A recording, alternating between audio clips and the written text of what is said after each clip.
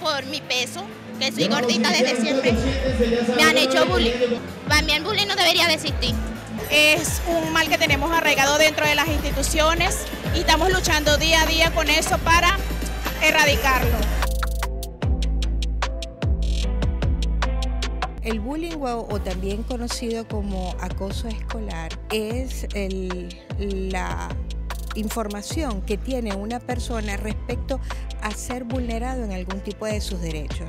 Esto es algo que se presenta en las escuelas y no solamente en las escuelas, en el ámbito laboral, en el ámbito social, comunitario.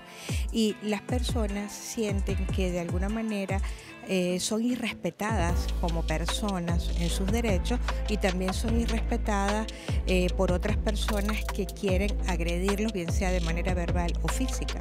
De manera que eh, ser un poco más tolerante y enseñar eso desde casa es uno de los elementos importantes en el proceso educativo. Si conoces algún caso de bullying o de acoso escolar, por favor no te quedes callado.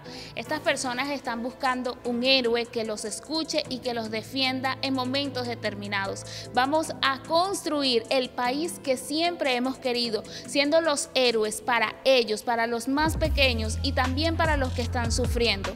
Tú puedes cambiar la historia. Recuerda, la educación es la mejor prevención.